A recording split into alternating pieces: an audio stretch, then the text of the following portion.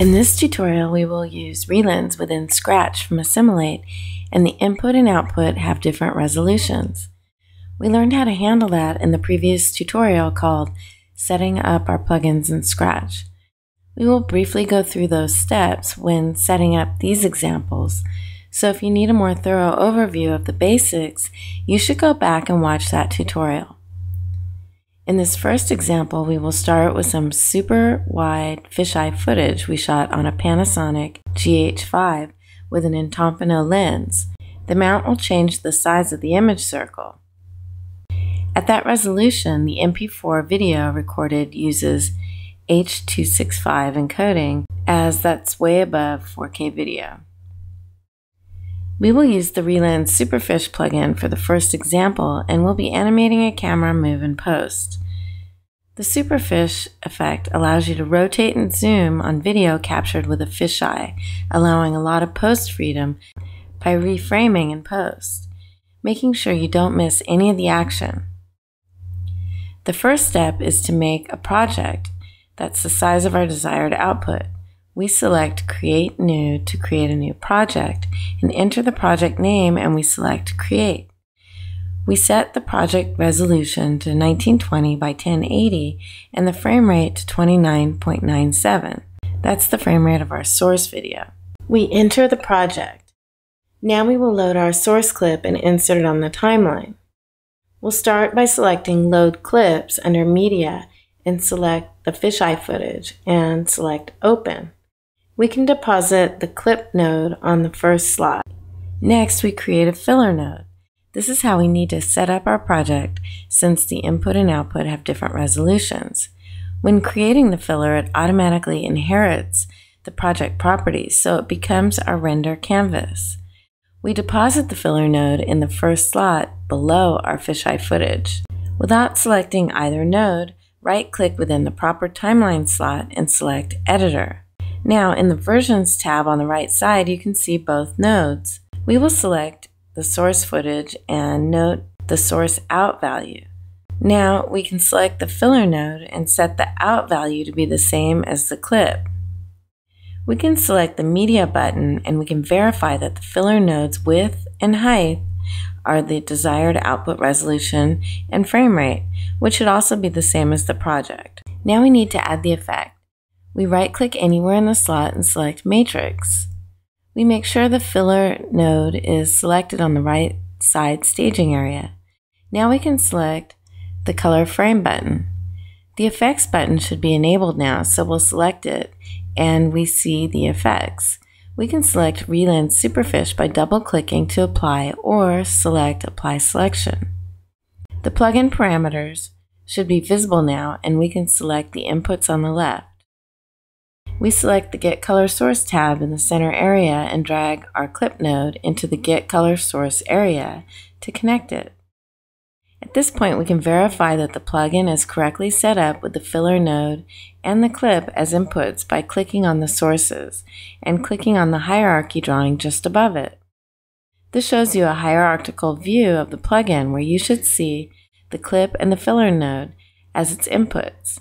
Now the RE:Lens Superfish button has replaced the color frame, so we select that to set up the parameters.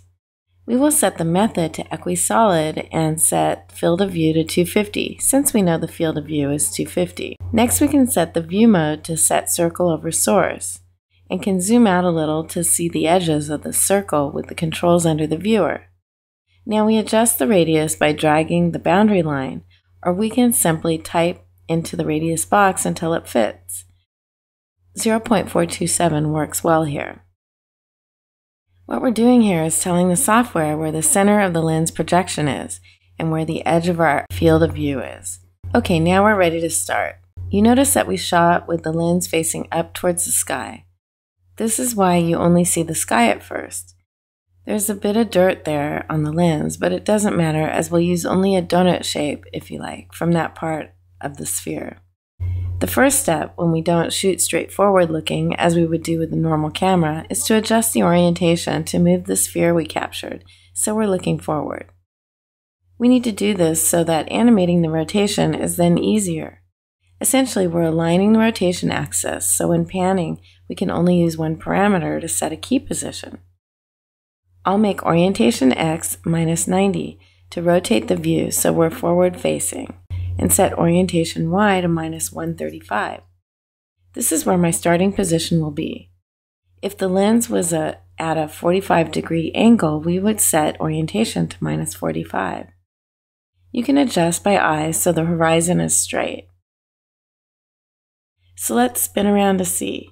We can set up to animate the rotation and we can play with focal length as well to change the zoom of our virtual camera. Also, we'll make the virtual camera motion so the cars that pass are actually in the frame. Now we want to process that animation. We go to Construct and then Outputs and add a new output. I select, for example, a ProRes encoder, which is supported by Scratch and Windows and Mac. I select the output node and select Process. Now let's take a look at that animation. There are a few problems here. First, at the beginning, we'll see the edge of the image circle. This is because the image is cut horizontally with the lens mount we have. It's maybe 220 degrees vertically. And also, we're too high when we face the hill as we only see the car roof. The camera motion is doing two 360 rotations, and it's a bit too fast. If you make a fast camera motion like that, we recommend you use ReelSmart Motion Blur so you don't get strobing when playing back. Now we can go back to the effects control and adjust our rotation and the focal length values over time to fix our animation. We can also make a few more adjustments. As you zoom in, it might be useful to do a bit of sharpening. Note, this is not your regular sharpen. The amount of sharpening will be related to how much the image is locally stretched by the projection, and of course the source material resolution. Similarly, when you zoom out, you have the option to smooth the result a bit using the mipmap smoothing. Again, different parts of the image will be more or less blurred as a result, depending on the net transform projection. Another feature that's useful to know when going to rectilinear is the unflatten slider. If you have a wide field of view, sometimes the edges will be overstretched. This would also happen with a wide angle lens and why there are very few rectilinear lenses that will go over 100 degrees field of view. Here I'm going to lower the focal length so it's clear. Then I adjust the unflattened slider so the edges look better.